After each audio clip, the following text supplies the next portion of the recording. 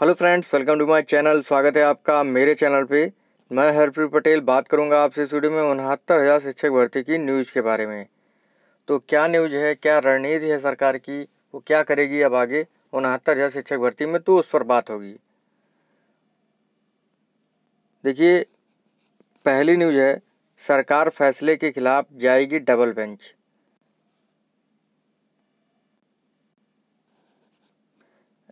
राज्य सरकार उनहत्तर हज़ार शिक्षक भर्ती में हाईकोर्ट के अंतरिम फैसले के खिलाफ डबल बेंच में अपील करेगी। इस बाबत परीक्षा नियामक प्राधिकारी ने प्रस्ताव भेज दिया है। राज्य सरकार गुरुवार को अपील दायर कर सकती है। बेसिक शिक्षा राज्य मंत्री डॉक्टर सतीश चंद्र द्विवेदी की अध्यक्षता में हुई बैठक में फैसला लिया गया है। अंतरिम फैसला आते ही डॉक्टर द्विवेदी बेसिक शिक्षा निदेशालय पहुँच गए और फैसले की कापी आने पर काउंसलिंग रुकवाने के निर्देश जारी किए गए। वहीं परीक्षा नियामक प्राधिकारी से तुरंत अपील करने के लिए प्रस्ताव मांगा गया और शाम तक प्रस्ताव निदेशालय भेज दिया गया है। बैठक में तय किया गया है कि गुरुवार तक अपील दायर कर दी जाएगी और इसकी मज़बूत पैरवी कर रोक हटाने का प्रयास किया जाएगा। आपको मैं बता दूँ, देखिए, एक जून को जो है, आंसर की को लेकर जो है, सुनवाई हो रही थी। तो उसमें जो है, तीन जून को फैसला सुनाया जाना था, जिसमें आया है कि स्टे हो गया है। तो स्टे को हटवाने के लिए सरकार जो है डबल बेंच में जाने का प्लान कर रही है और जाएगी भी। ठीक है तो देखते हैं क्या होता है। और मेरा मानना है कि डबल बेंच में जाएगा, फिर सुप्रीम कोर्ट में जाएगा तो वो जो भारतीय है, उसमें थोड़ा टाइम लगेगा अभी बट देखते हैं क्या होता है। अगली न्यूज़ है, सात साल बाद फिर काउंसलिंग के पहले दिन लगी रोक।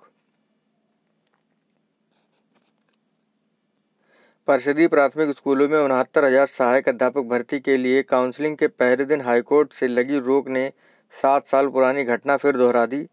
चार फरवरी 2013 को एकेडमिक रिकॉर्ड के आधार पर बहत्तर हज़ार आठ सौ पच्चीस प्रशिक्षु शिक्षक भर्ती की काउंसलिंग शुरू होने के पहले दिन हाईकोर्ट ने रोक लगा दी थी। वही रोक बहत्तर हज़ार आठ सौ पच्चीस प्रशिक्षु शिक्षक भर्ती का टर्निंग पॉइंट साबित हुई और बाद में सुप्रीम कोर्ट के आदेश पर टीईटी मेरिट पर नियुक्ति प्रक्रिया पूरी की गई। उसके तहत वर्तमान में छाछठ हज़ार छः सौ पचपन शिक्षक प्राइमरी स्कूल में पढ़ा रहे हैं।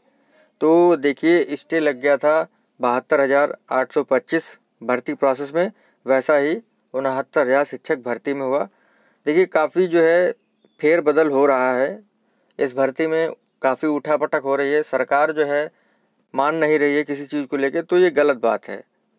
बाकी बहुत सारे ऐसे विवादित प्रश्न हैं जिन पर अभ्यर्थियों को अंक मिलना था, उन पर अंक नहीं दिए गए हैं। तो देख लेते हैं विवादित प्रश्नों को। लिखा है, विवादित प्रश्नों के चलते कोर्ट ने लगाई रोक। तो आपको पता होना चाहिए कौन से विवादित प्रश्न हैं। हाईकोर्ट ने उनहत्तर हज़ार सहायक अध्यापक भर्ती पर जो अंतरिम रोक लगाई है, वह प्रश्न पत्र में शामिल कुछ गलत सवालों के कारण है। दायर की गई याचिका में उठाए गए सवाल कुछ इस प्रकार हैं। देखिए, एक प्रश्न है, शैक्षिक प्रशासन उपयुक्त विद्यार्थियों को उपयुक्त शिक्षकों द्वारा समुचित शिक्षा प्रदान करने योग्य बनाता है, जिससे वे उपलब्ध साधनों का उपयोग करके अपने प्रशिक्षण में सर्वोत्तम को प्राप्त करने में समर्थ हो सकें। यह परिभाषा दी गई है, उक्त प्रश्न का सही उत्तर कुंजी में विकल्प संख्या तीन, वेलफेयर ग्राह्य बताया गया, जबकि याचियों का कहना है, इस प्रश्न का इंग्लिश वर्जन अलग है, और सही उत्तर ग्राहम बिल फोर का विकल्प ही नहीं दिया गया है। फिर आता है नाथ संप्रदाय के प्रवर्तक कौन है? उक्त प्रश्न का सही उत्तर संख्या एक मत्स्येंद्र नाथ बताया गया है, जबकि याचियों ने विकल्प संख्या दो गोरखनाथ को सही उत्तर बताया है। उसके बाद प्रश्न आता है भारतीय संविधान सभा के प्रथम अध्यक्ष कौन थे? तो ये स्थायी और अस्थाई वाला जो है, बवाल है। इस पर जो है, विवाद है। अगला है, पढ़ने लिखने की अक्षमता क्या है? इस प्रश्न का सही उत्तर विकल्प संख्या दो, डिसलेक्सिया बताया गया है। तो इस चीज़ को लेकर तो मैं पहले से ही थोड़ा सा कन्फ्यूज़ था। डिसलेक्सिया तो हो ही नहीं सकता। डिसलेक्सिया तो पठन योग्यता से संबंधित है। यहाँ पर तो पढ़ने और लिखने दोनों से दिया गया है। तो विकल्प संख्या तीन, डिस्प्रैक्सिया सही होना चाहिए। देखते हैं इसमें क्या होगा। अगला है प्रश्न संख्या सत्तर। निम्नलिखित में से कौन सा सामाजिक प्रेरक है?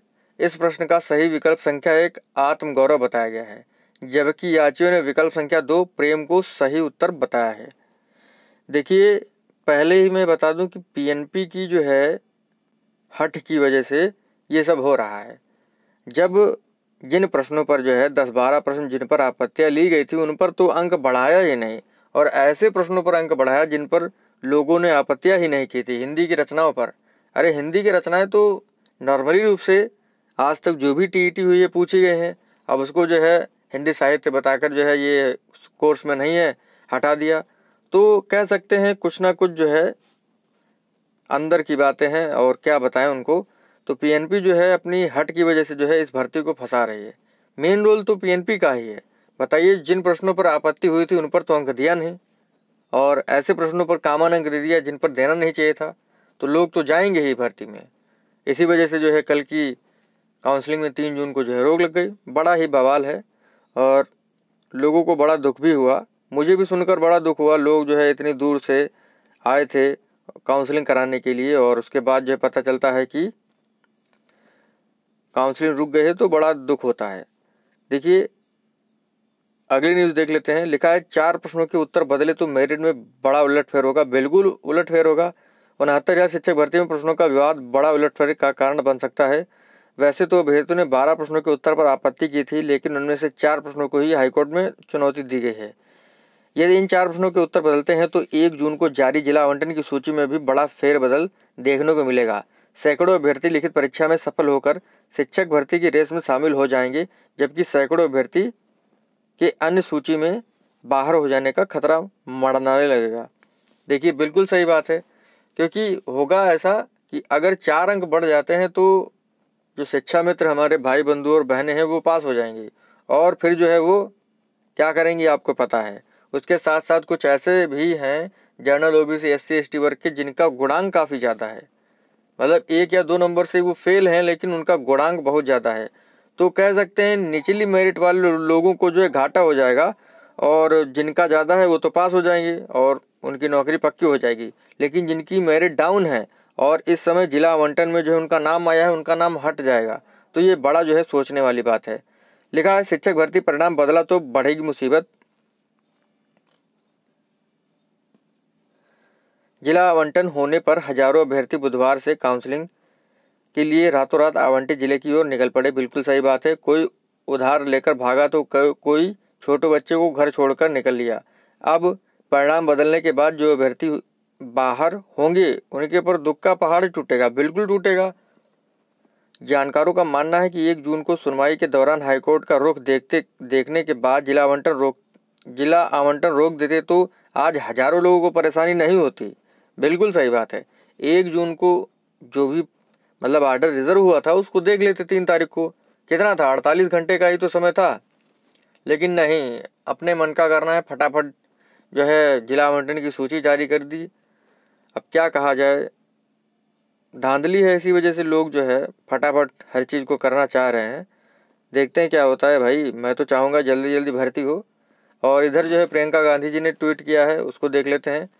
देखिए, लिखा है कांग्रेस की राष्ट्रीय महासचिव और यूपी प्रभारी प्रियंका गांधी ने उनहत्तर हज़ार शिक्षक भर्ती मामले को लेकर प्रदेश सरकार पर हमला बोला। उन्होंने बुधवार को ट्वीट कर कहा कि एक बार फिर से प्रदेश के युवाओं का सपनों पर, प्रदेश के युवाओं के सपनों पर ग्रहण लग गया।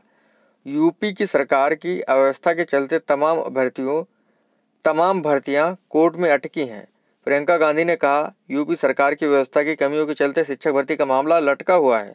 सरकार की लापरवाही की सबसे ज़्यादा मार युवाओं पर पड़ रही है। बिल्कुल सही बात है।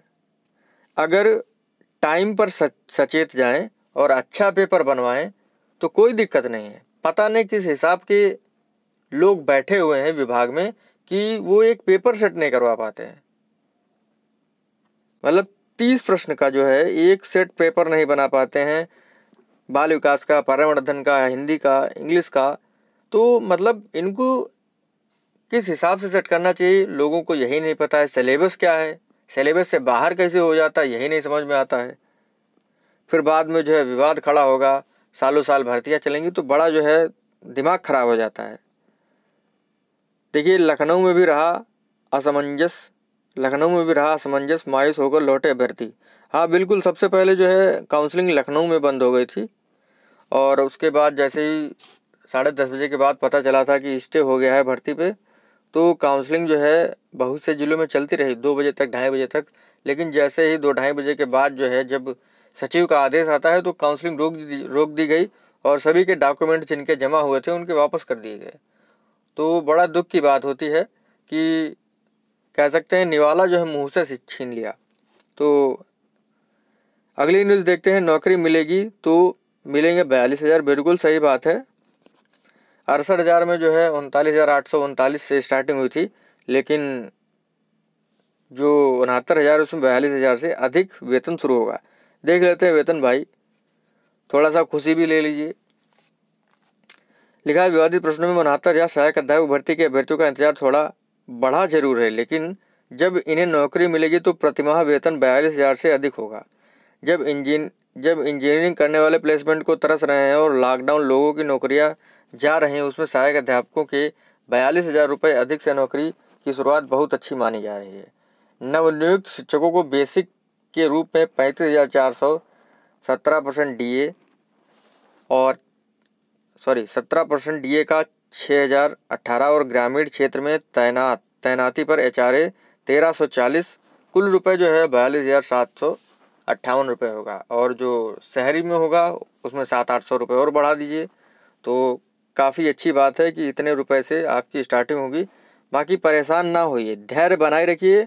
देखिए, समय ज़रूर प्रतिकूल है, लेकिन जो है जल्द ही जो है अनुकूल समय आएगा। परेशान ना होइए। और लड़कियाँ जो है, हमारी जो बहनें हैं, वो ज़्यादा परेशान हो जाती हैं। उनके पेरेंट्स ज़्यादा परेशान हो जाते हैं। तो परेशान ना होइए। देखिए, नौकरी गई नहीं है। जिनका नाम जिला आवंटन सूची में है, लगभग उनको मिलेगा ही कुछ लोगों को छोड़कर जिनकी लो मेरिट है। ठीक है? देखते हैं क्या होता है। मिलते हैं आपसे अगली वीडियो में। Thank you friends. धन्यवाद।